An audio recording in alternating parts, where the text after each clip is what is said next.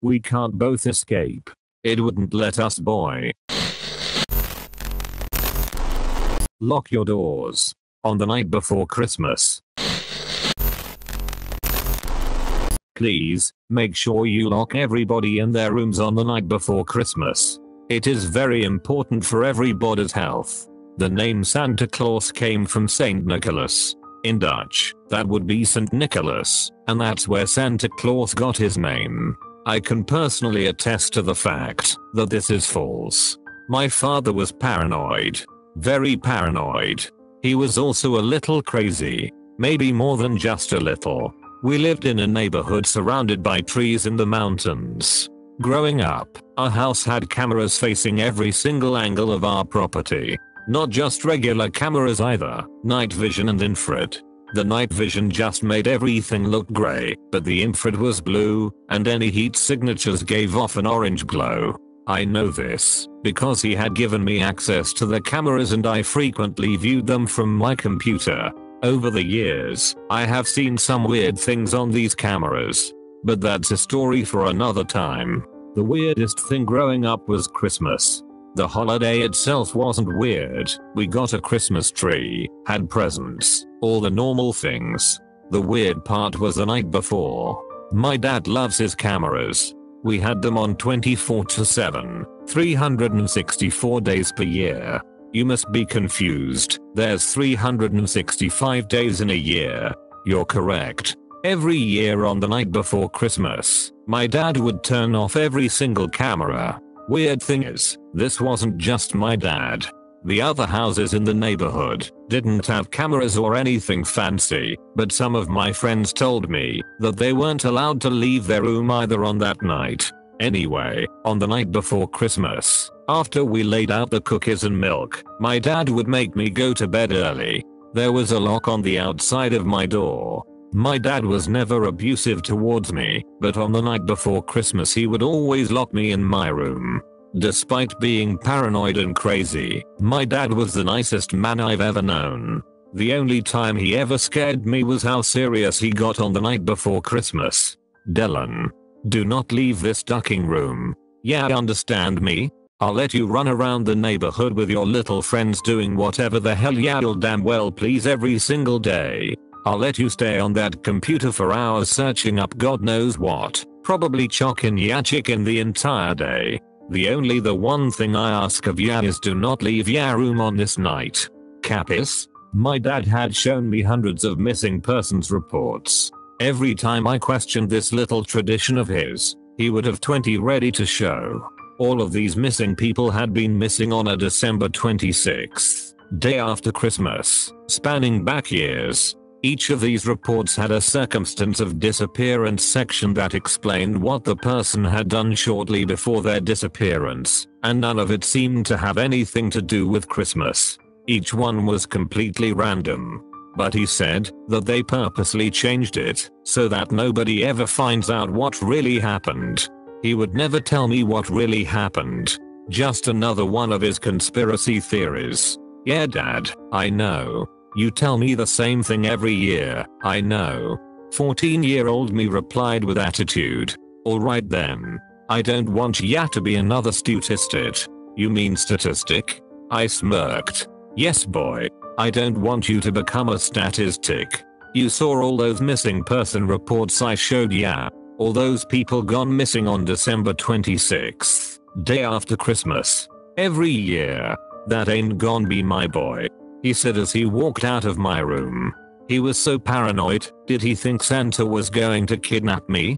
Santa isn't even real. After he walked out of my room I heard a click as he set the lock outside my door. I heard his footsteps protrude away as I turned over to my computer that displayed our camera footage. I counted down 3, 2, 1, 0.5, 0.4, 0.3, 0.2, 0.1 and boom, just like that the camera footage shut off and displayed no feed connected.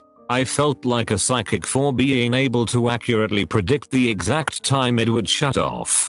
Good night boy. My dad shouted across the hall from his room. Good night. I shouted back.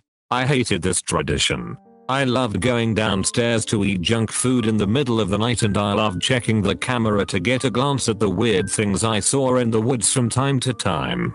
But on this night every year, I couldn't go downstairs to eat junk food and I couldn't bring it upstairs either. No food was allowed in my room. And all that, just because of my dad's paranoia. Every year until this day, I just listened to my dad. After he shut off the camera footage and locked me in my room, I would usually just accept it and go to sleep. For some reason I just couldn't sleep, so despite my dad's wishes I stayed up playing computer games. Around 2am, I heard something on our roof. There were a lot of animals and other things in those woods, so this was a pretty common occurrence. But the sound I heard this time just sounded different. It sounded like something landed Oh oh killer Santa must be here. I joked to myself as I continued playing my computer game. Shortly after the thud on the rooftop, I started hearing heavy footsteps followed up by our floorboards creaking downstairs. Goosebumps formed on my body and my breathing got a bit more frantic as I worked up a sweat. What the duck is that? I thought to myself. Then, I got a thought. That would prove to be the worst decision I've ever made in my life. I got onto the application that controls the cameras. I looked over the button that would reactivate the cameras and hovered my cursor over it. What if it's an intruder? I tried convincing myself. I took a deep breath that was followed by a loud gulp. Then I clicked activate.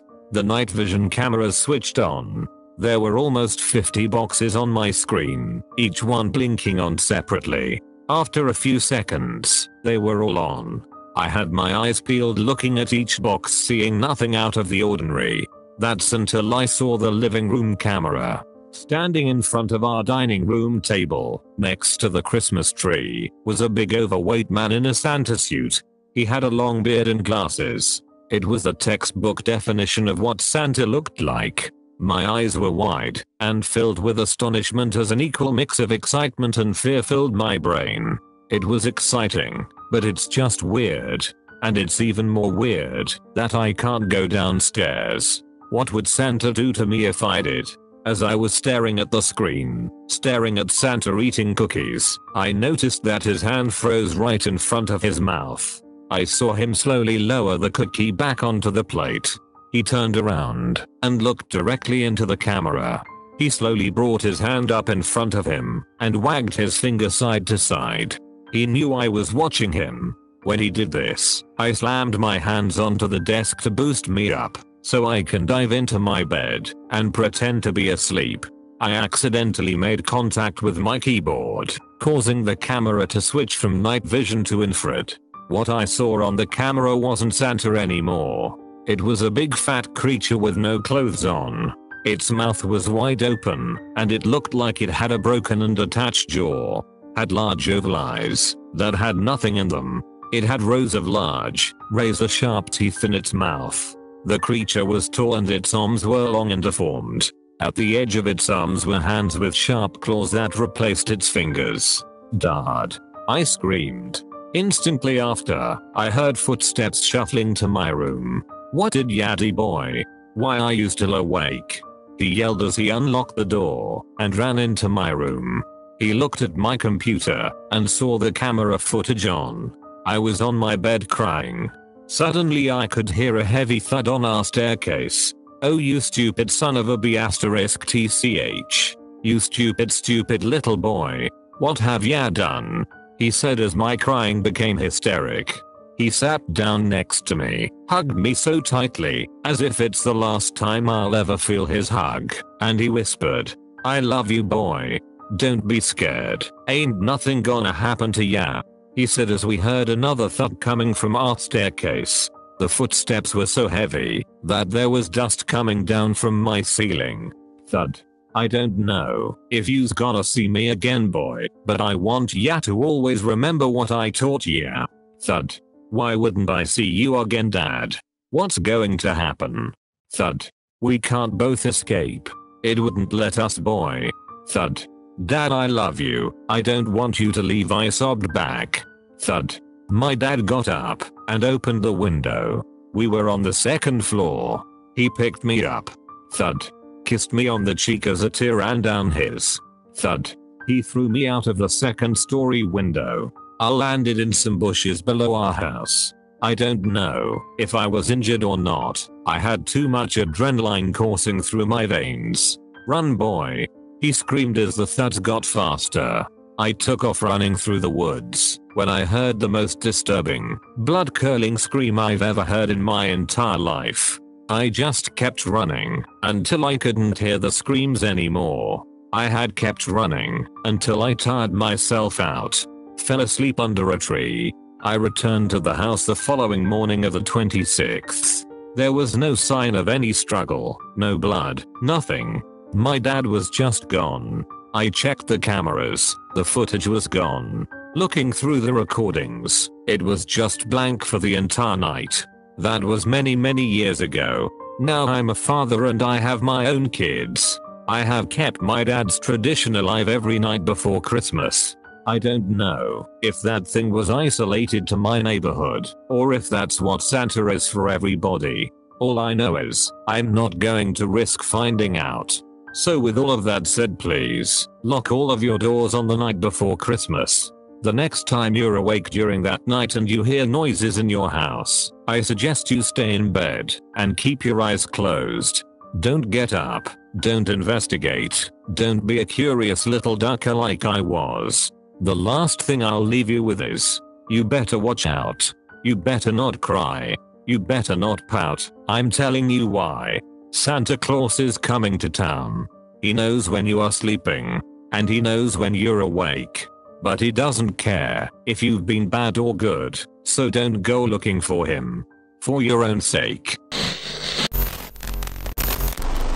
Thank you for watching. Hit like and subscribe for more videos.